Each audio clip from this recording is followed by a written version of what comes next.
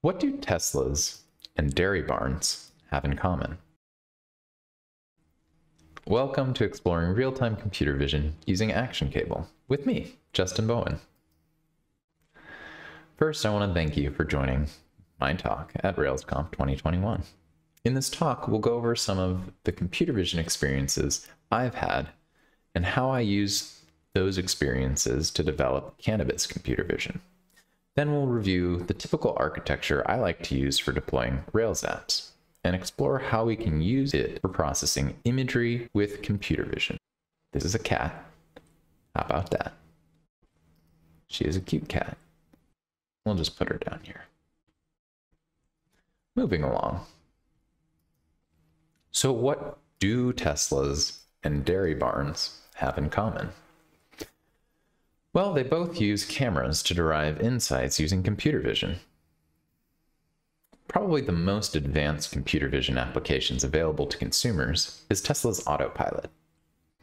Teslas sport a suite of seven cameras, three front-facing with varying fields of view for short 60 meter, mid 150 meter, and long 250 meter range forward-facing cameras using wide-angle, mid-angle, and narrow-angle lenses two side front facing cameras with an 80 meter range, and two side rear facing cameras with a 100 meter range. These cameras combined with their known specs can be used to measure and assess object size and distance in front of and around the vehicle. Combined, all of these cameras are processed in real time using GPU powered computer vision on board each Tesla to detect lane markers, vehicles, bikes, motorcycles, cones, pedestrians, trash cans, and intersections using neural networks. Combined with some rules, these components are used to provide feature sets known as autopilot. Autopilot is a driver assist feature with the ambition of full self-driving capabilities. At the time of this talk, Teslas are able to navigate freeways, change lanes, and take exits automatically. This feature is known as nav on autopilot. Teslas can also stop at intersections with red light and stop sign detection. With Teslas in full self-driving beta, they're capable of turning at intersections and driving users from point A to point B with little or no intervention. Teslas today are able to safely keep their lanes with auto steer by monitoring the lane markers. They're also able to park with auto park and unpark using the enhanced unsummon feature, which can allow your car to come to you from across a parking lot. Okay, well that's impressive, but what was I talking about with dairy barns? Well, some modern dairy farmers have computer vision currently being used to monitor dairy barns for cow comfort because comfy cows produce more milk. Cameras monitor, log, and report eating and drinking behavior to give farmers real-time insight into their cow comfort and health metrics. I had the honor of leading the team building this dairy barn offering, where we were tasked to deploy computer vision capable of detecting and identifying cows' eating and drinking behavior across multiple pens. After all, cows need water and food to make milk. This provides farmers with the ability to determine cow health by alerting them of feeding, drinking, standing, and laying activity.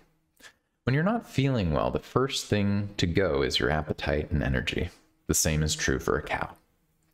Similarly to Tesla's approach for computer vision, GPUs were deployed in the field in order to analyze cow data on farm in locations with limited bandwidth where streaming video from one camera would have been challenging enough. These remote locations sometimes had tens or hundreds of cameras in order to cover a herd of 4,000 cows across multiple barns. Edge computing was the only option for computer vision since there was no way to upload all of that data to the cloud. So my experience actually started with drones and pivoted to dairy cows and ended up exploring cannabis computer vision let's talk a little bit more about my drone experience. In 2016, I joined an Irish company called Cainthus with the challenge to build a data pipeline for processing drone flight imagery for field crop analysis. And yes, they switched to dairy cow monitoring in one of the most interesting pivots I've experienced at a startup. When I first joined, they were trying to load these massive geotiffs, gigabytes in size, into memory and analyze all of the pixels at once and report back pixel similarity across a field based on user input. The only problem with this process is that it took seven minutes from when the user selected a target to them receiving a heat map. End result. While the industry standard for field crop analysis at this scale was 24 hour turnaround, we were determined to devise a new process for breaking up the work to make it more scalable and respond in under a second for a better user experience. The process involved unzipping archived GeoJPEGs, and then stitching the GeoJPEGs into a giant mosaic GeoTIFF like before. Again, these were gigabytes in size, but this was only happening once when the flight data was imported into the system. These geotiffs were then tiled with GDAL to tiles to output tiles to be served in a tile map service, or TMS URLs. These TMS URLs, which could be used for mapping in Google Map style interfaces, were rendered by Leaflet.js, and this allowed farmers and agronomists the ability to select an area of interest on the map to search the rest of the field for similarity. By outputting a heat map of the similar pixels across the field, or a subset of field tiles, this could be used to determine harvestability or crop failure rate. The business logic required tiles to be processed at render time as TMS image URLs in order to visualize a heat map of this similarity match, as well as return a percentage match across the field. So we simply did this at the highest zoom level to reduce the response time. Higher the zoom, fewer the pixels. We also rendered and processed heat maps for tiles that were currently in the viewport at the zoom level the user was currently on. This created the illusion that the whole field had been processed, when really only the TMS URLs requested by Leaflet were processed on demand. These experiences gave me exposure to the architecture and implementation strategy I've used for computer vision. This inspired the work I've done on Green Thumb IO. My blog focused on cannabis cultivation and automation using computer vision as the driving dataset. While it seems overwhelming, there are common techniques employed in this process, which I've used for scaling all of the Rails apps I've worked on over the last 10 years. First, let's consider some of the challenges that cultivation has to offer that can be observed visually. Botrytis is one of the most common diseases that impacts various crops from grapes to cannabis. Also known as bud rot, cannabis plants will present discolored bud sites. These spots change color from a healthy bud color to a gray to a brown. Eventually, it ends up covering most of the leaf and bud, causing them to wilt and die. White powdery mildew is a fungal disease that affects a wider variety of plants. Powdery mildew can slow down the growth of plants, and if affected areas become serious enough, it will reduce the yield quality. Plants inf infected with white powdery mildew present an appearance of being dusted with flour. Young foliage is most susceptible to damage, and the leaves can turn yellow and dry out. The fungus might cause leaves to twist or break, become discolored and disfigured. The white spots on the powdery mildew spread over to cover most of the leaves in the affected area. We also have the challenge of tracking biomass rate of growth. It's a key metric when growing any crop. Conventionally, NDVI is an agricultural approach to computer vision used to calculate plant health, usually at very low resolution. More recently, with drone flights or stationary cameras indoors. Conventional yield estimates have been calculated in the past by literally throwing a hula hoop into a field and counting the number of plants or bud sites within the known area of the hula hoop. The agronomist can then extrapolate the yield potential from the hoop for a rough statistical estimate of the field's potential yield. So how do we do this with computer vision? First, we have leaf area analysis. This can be used for tracking our biomass rate of change to indicate healthy growth or decay from stress. Increases in the number of pixels matching the healthy target color range indicate biomass increase. While changes in target color, something outside of the range will trigger our matching pixel values to drop. We can also do a bud area analysis.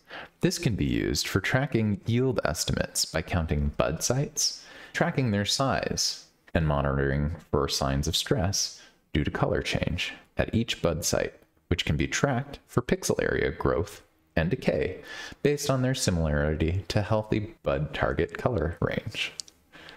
To start off, we need to define a calibration value for our target of interest. We can use the range detector I found on PyImageSearch.com's IMUtil library to select a low and high HSV color value for the target. In this case here, the target is the bud sites. HSV is a color space value with values of hue, saturation, and value. Dialing up the low end and dialing down the high end, we can capture a pretty clean mask of the bud sites without any additional cleanup. We can use OpenCV for post-processing the image and pixel selection using the calibration HSV target range we take advantage of Python's scikit image library and its measuring and label tools for taking measurements and labeling them so that we can have a good understanding of the size of each of our contours. We take these components and use OpenCV to find and annotate images with contours of leaves and buds. So going back to the problem of white powdery mildew, we can use the leaf area mask to detect white powdery mildew by tracking the decay in healthy leaf area pixels. You can see in this example, the leaf on the left is healthy, and the leaf on the right shows only a small percentage of its area as healthy leaf pixels. You can also track the rate of biomass increase from these test images to determine week over week growth the output from week one's leaf mask to week two's leaf mask shows the plants grew 27,918 pixels in five days. Using some basic trig, we can calculate pixels to millimeters. Cameras are really just like pyramids, with the base of the pyramid being the frame of the image and the peak being a horizontal and vertical angle of view.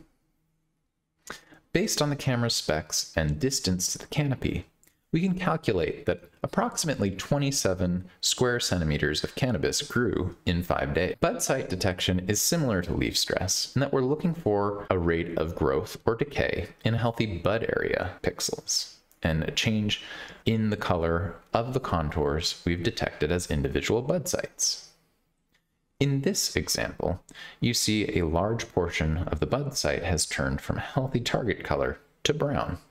We can also measure and count the size of individual bud sites we've detected. That way, if any bud site changes, color, or size, we can alert the users of growth or decay.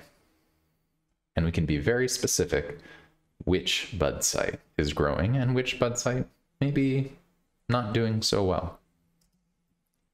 Here's an early stage visualization of the heat map with data set side by side with the source imagery.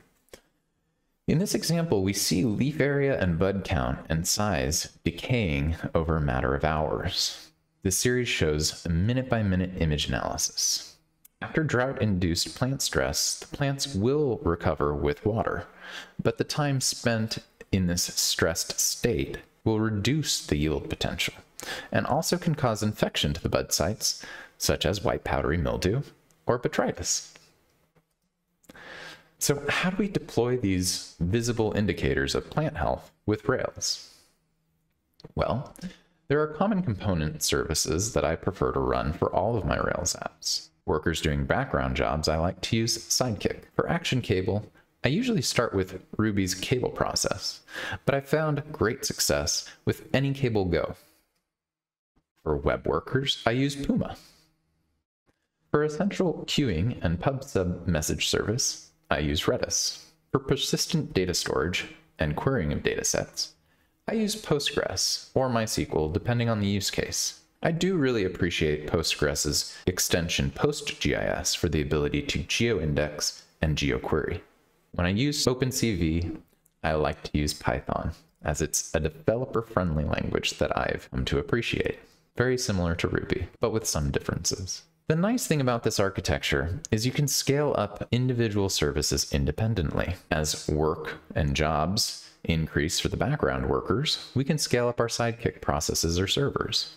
When WebSocket connections increase and our CPU load or memory increases, we can scale up our cable service. And when HTTP requests go up and we need more workers, we can scale up our Puma processes. All this can be done independently without one overloaded service taking down the entire system.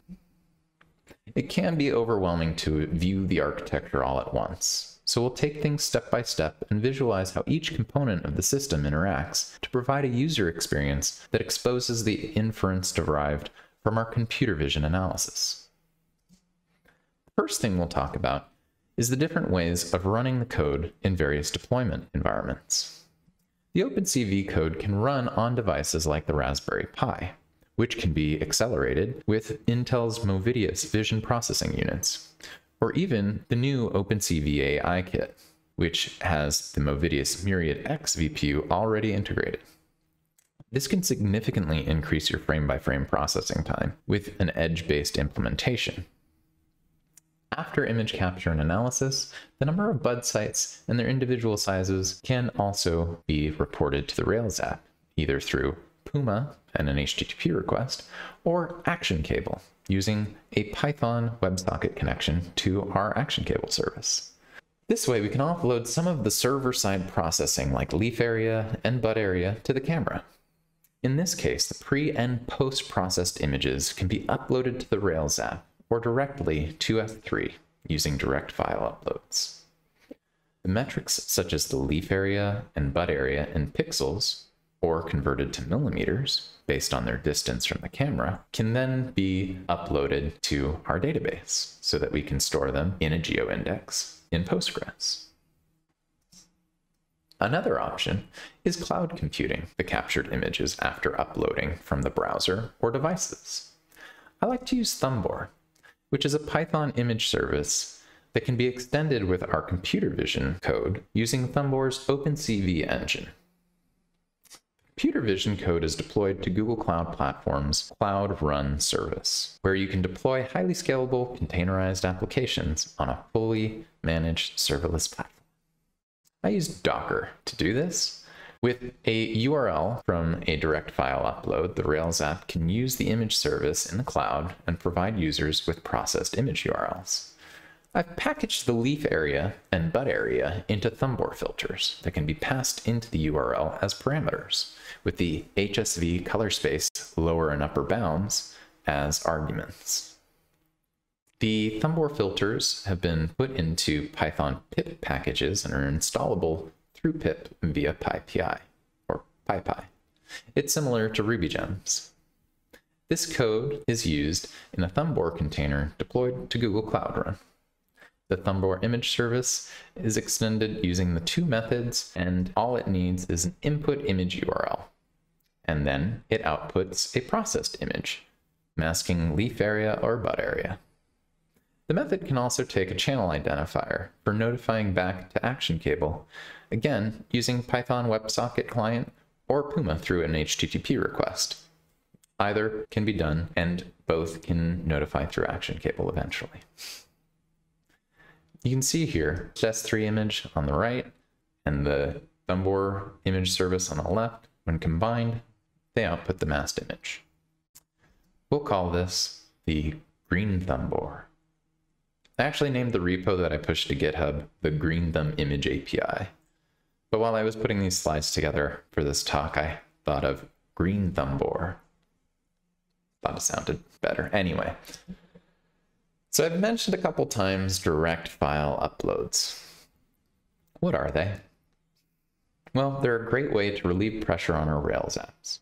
Puma workers can focus on responding to HTTP requests quickly without having to wait for blocking I.O. from large objects like images and videos. With AWS S3 or Google Cloud Store, Our Rails app can provide a client, browser, or device with a pre-signed key to upload files to a location on our storage service directly. Once the files are transferred, the client can notify the Rails app that these files can now be processed or served. From there, we can insert the image URL data into our database and enqueue a background job with the image ID and a channel identifier to a Sidekiq worker. And respond OK. The job will make a request to the Thumbor image service to process the image URL and send back a response to the channel's report action. Sidekiq handles the third-party API request to Thumbor service to keep the external requests in the background and off of our Puma workers' plate. The report action will then receive a message, again, either from the Thumbor service directly using Action Cable or from Puma.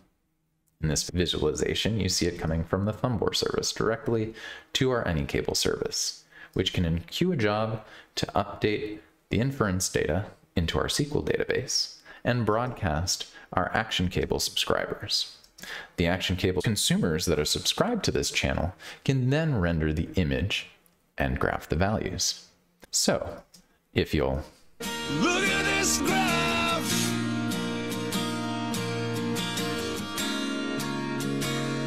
Looking at this graph, we see again our rate of decay in healthy leaves and bud area can be used to generate an alert or trigger an automated watering. This is a time series over a span of three hours, and you can see there's plenty of time to alert the user before it's too late. This video was provided by my friends at Super Green Lab. They sell smart micro grow systems using LEDs and sensors controlled by a custom designed ESP based PCB. They also use Raspberry Pis for capturing time lapses. Another great use for Action Cable is WebRTC signaling. WebRTC signaling allows two clients to establish peer to peer connections. This allows bidirectional communication of audio, video, and data without a trip to our WebSocket server. This involves sending a session descriptor offer from one peer to the other and sending a session descriptor answer back to the other peer. Then both peers can request a token, which they can use in order to create what's called interactive connectivity establishment candidates, or ICE candidates. Once the peer connection is established, bidirectional communication from device to browser can be accomplished. This allows real-time video feed from the camera to your browser and the ability to trigger things from your browser to the camera, which could control sensors, actuators, fans, or pumps. While I've seen implementations of WebRTC signaling done with HTTP polling, I've had great success using an action cable to handle the initial exchange of ICE candidates. Now the question, does it scale? Short answer is yes. I've been using Puma for a while for my web workers. These are just some graphs of the memory footprint and the responsiveness at scale that I pulled from their website. And Nate Berkopec, author of The Complete Guide to Rails Performance and co-maintainer of Puma, recently said on Twitter, the things you need to know about a service in order to scale it properly are you need to know the queue times for work, and jobs and requests, the average processing time and arrival rate for work and jobs, and the CPU load utilization, CPU count, and memory utilization of the underlying machine. This really goes for any language and any framework. I recently had a consultation with a startup founder with a contract developer, and they were asking me if I thought .NET was scalable. I used our time together to help them better understand the systems and concepts required for a scalable system, and that it's always best to use what the developer feels most comfortable and productive using. I love Ruby, and I feel most productive and confident scaling a Rails app. Python is very friendly for me too, but I wouldn't say I love or feel comfortable with Django, though I have deployed some Django apps before. And I certainly wouldn't personally feel comfortable scaling a .NET application. But in that case, I told the startup founder that they should listen to their developer and make sure that they follow scaling practices that I've outlined here in .NET with different tools similar to Puma and Sidekiq and potentially a WebSocket service if they need it. Anyway, I highly recommend checking out Nate's book and giving him a follow on Twitter for great write ups on optimizing Rails apps. I've been using Sidekiq since around 2012, and I really appreciate the work that Mike Perham has done with contribsys.com, which is responsible for Sidekiq and Faktory. Faktory provides a feature-filled job processing system for all languages with a common queuing mechanism using Redis that supports workers in Node, Python, Ruby, Go, Elixir, and more. While I haven't used Faktory, I am curious and excited to see how our architecture could be enhanced with background jobs across our Rails and Python codebases. But Sidekiq itself is 20 times faster than in the competition. I think the old saying was that one Sidekiq worker can do the work of 20 Resque jobs, something like that it does scale. Nate also said something on Twitter that WebSockets are far more difficult to scale than HTTP in a lot of ways. The lack of HTTP caching and the ability to offload to CDN are big ones for him. You can see in this graph CPU load comparison on the left of AnyCable Go to the right of Action Cable Ruby, with 10,000 concurrent connections each. The Ruby cable service is fully loaded, while the AnyCable service has headroom to spare. You can also notice in this graph of memory consumption, with Ruby using four times as much memory as AnyCable Go. In these load tests that I found online, AnyCable Go has similar performance under load to Go and Erlang natively. I haven't used Early Cable, but it appears to have similar performance metrics. So this is a report showing the decay from the video we saw earlier with a graph where the plants were wilting from not being watered. This is over a span of 10 hours, so there was plenty of time to notify the user that there was a critical issue that needed their attention sooner rather than later, when they may not have come to see the issue until the next day.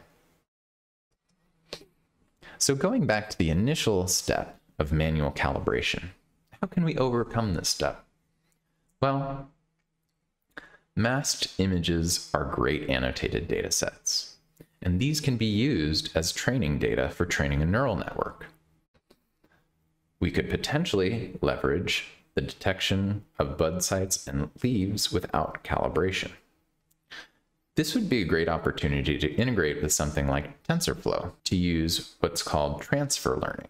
Transfer learning takes an existing neural network trained to detect objects and teaches it to recognize new ones like buds and leaves. There's a lot of theory and techniques out there, and I have experience with some of these, but not all of them. It's important to explore and experiment with common solutions in practice, but not to get too overwhelmed with theory, especially when starting out.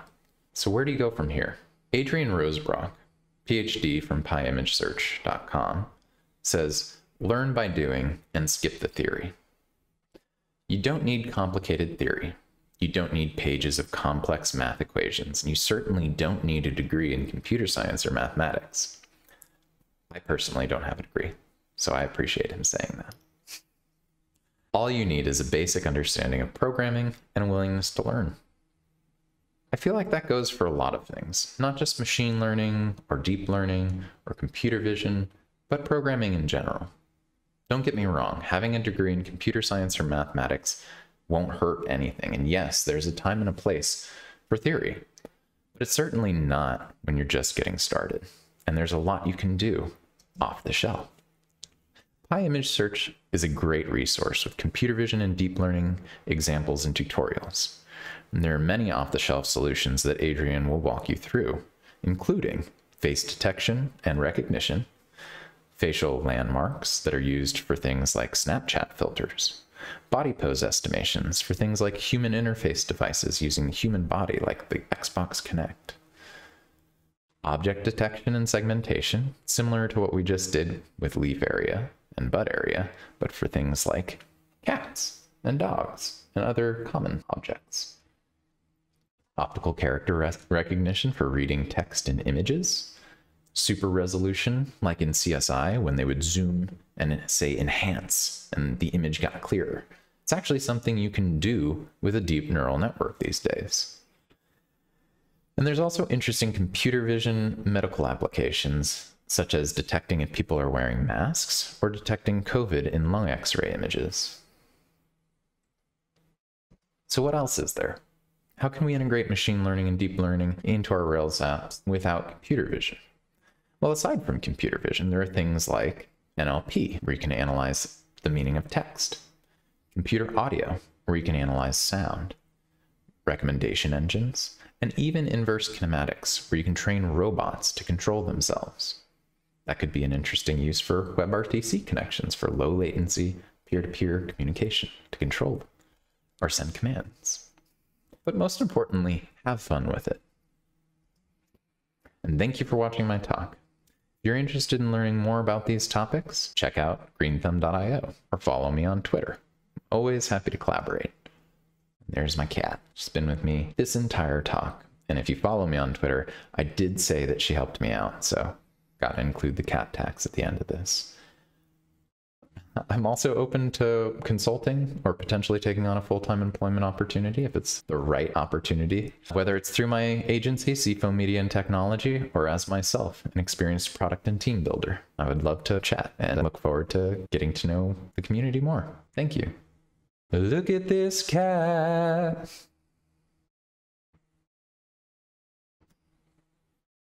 That's all.